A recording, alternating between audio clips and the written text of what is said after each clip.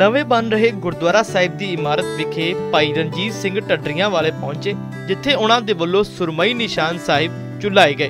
ਤੁਹਾਨੂੰ ਦੱਸ ਦਈਏ ਕਿ ਕਪੂਰਥਲਾ ਦੇ ਕਸਬਾ ਨਡਾਲਾ ਵਿਖੇ ਗੁਰਦੁਆਰਾ ਪਰਮੇਸ਼ਵਰ ਦੁਆਰ ਦੀ ਇਮਾਰਤ ਪੂਰੀ ਤਰ੍ਹਾਂ ਬਣ ਕੇ ਤਿਆਰ ਹੋ ਗਈ ਹੈ ਅਤੇ ਨਡਾਲਾ ਵਿਖੇ ਇੱਕ ਨਵਾਂ ਗੁਰਦੁਆਰਾ ਸਾਹਿਬ ਬਣਨ ਜਾ ਰਿਹਾ ਹੈ ਤੇ 2 ਮਹੀਨੇ ਬਾਅਦ ਹੀ ਇਸ ਪਾਵਨ ਅਸਥਾਨ ਵਿਖੇ ਗੁਰੂ ਸਾਹਿਬ ਦਾ ਪ੍ਰਕਾਸ਼ ਵੀ ਕੀਤਾ ਜਾਵੇਗਾ। ਤਕਰੀਬਨ 10 ਸਾਲ ਪਹਿਲਾਂ ਇੱਕ ਦਾਨੀ ਦੇ ਵੱਲੋਂ ਇਸ ਜਗ੍ਹਾ ਨੂੰ ਦਾਨ ਵਿੱਚ ਦਿੱਤਾ ਗਿਆ ਸੀ, ਜਿੱਥੇ ਕਿ ਹੁਣ ਗੁਰਦੁਆਰਾ ਬਣਾਇਆ ਜਾ ਰਿਹਾ ਅਤੇ ਗੁਰਦੁਆਰਾ ਪਰਮੇਸ਼ਵਰ ਦੁਆਰ ਵਿਖੇ ਭਾਈ ਰਣਜੀਤ ਸਿੰਘ ਢੱਡਰੀਆਂ ਵਾਲੇ ਪਹੁੰਚੇ।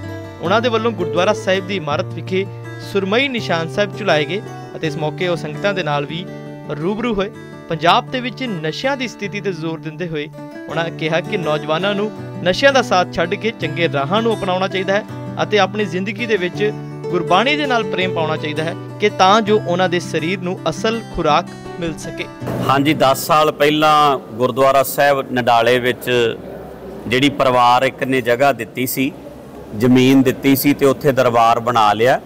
ਬਹੁਤ ਸਾਲਾਂ ਤੋਂ ਰਲ ਕੇ ਇਲਾਕੇ ਦੀ ਸੰਗਤ ਸੇਵਾ ਕਰ ਰਹੀ ਸੀ ਤੇ ਦਰਬਾਰ ਸਾਹਿਬ ਦੀ ਸੇਵਾ ਕੰਪਲੀਟ ਹੋ ਗਈ ਹੈ, ਬਿਲਡਿੰਗ ਸਾਰੀ ਬਣ ਗਈ ਹੈ ਤੇ ਅੱਜ ਗੁਰੂ ਸਾਹਿਬ ਜੀ ਦੇ ਸੁੰਦਰ ਕੇਸਰੀ ਨਿਸ਼ਾਨ ਚੁਲਾਏ ਹੈ। ਬਹੁਤ ਸੋਹਣਾ ਸੁਰਮਈ ਰੰਗ ਦਾ ਨਿਸ਼ਾਨ ਸਾਹਿਬ ਚੁਲਾਇਆ ਗਿਆ ਉਹਦੀ ਸਾਰੀ ਸੰਗਤ ਨੂੰ ਵਧਾਈ ਹੋਵੇ ਬਹੁਤ ਬਹੁਤ।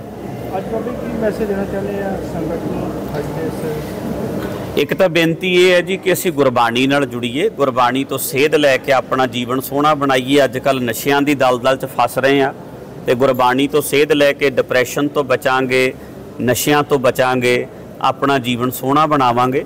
ਸੋ ਇੱਥੇ ਵਾਸਤੇ ਇਹ ਬੇਨਤੀ ਹੈ ਕਿ 2 ਕੁ ਮਹੀਨਿਆਂ ਤੱਕ ਪ੍ਰਕਾਸ਼ ਹੋਣਾ ਹੈ ਗੁਰੂ ਗ੍ਰੰਥ ਸਾਹਿਬ ਦਾ।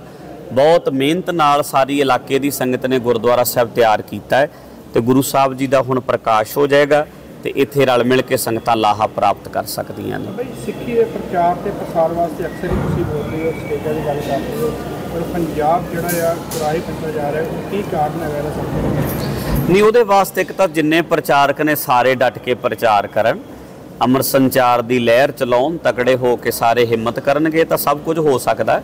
ਸੋ ਅੱਗੇ ਨਾਲੋਂ ਜਾਗਰਤੀ ਵੀ ਆ ਰਹੀ ਹੈ। ਠੀਕ ਹੈ ਕੁਝ ਬੱਚੇ ਸਾਡੇ ਨਸ਼ਿਆਂ ਦੀ ਦਲਦਲ 'ਚ ਫਸੇ ਵੀ ਹੈ, ਪਰ ਬਹੁਤ ਬੱਚੇ ਪੜ੍ਹਾਈਆਂ ਕਰਕੇ ਵਿਦੇਸ਼ਾਂ ਵਿੱਚ ਵੀ ਸੈਟਲ ਹੋਏ ਹੈ। ਸੋ ਇਸ ਕਰਕੇ ਆਪਾਂ 네ਗੇਟਿਵ ਨਾ ਹੋਈਏ, ਫਿਰ ਵੀ ਚੰਗਾ ਕੰਮ ਹੋ ਸਕਦਾ ਹੈ। ਬਾਕੀ ਤਕੜੀ ਪ੍ਰਚ- ਪ੍ਰਚਾਰ ਦੀ ਲਹਿਰ ਚੱਲੇ ਤੇ ਬਾਕੀ ਪੰਜਾਬ ਸਰਕਾਰ ਨੂੰ ਵੀ ਚਾਹੀਦਾ ਕਿ ਵੱਡੇ ਫੈਸਲੇ ਲੈ ਕੇ ਨਸ਼ਿਆਂ ਉੱਤੇ ਸਟਰੋਂਗ ਫੈਸਲੇ ਲੈਣ। ਨਸ਼ਾ ਤੇ ਪੱਤਾ ਨਹੀਂ ਹਿਲ ਸਕਦਾ ਪੰਜਾਬ ਦੇ ਵਿੱਚ ਜੇ ਸਰਕਾਰ ਚਾਹਵੇ। ਤੇ ਤਕੜੇ ਹੋ ਕੇ ਵਧੀਆ ਫੈਸਲੇ ਲੈਣਗੇ ਤੇ ਨਸ਼ਾ ਬੰਦ ਵੀ ਹੋ ਸਕਦਾ ਹੈ, ਸਰਕਾਰ ਨੂੰ ਵੀ ਚਾਹੀਦਾ ਹੈ ਤੇ ਆਪਾਂ ਸਾਰੇ ਵੀ ਹੰਭਲਾ ਮਾਰੀਏ।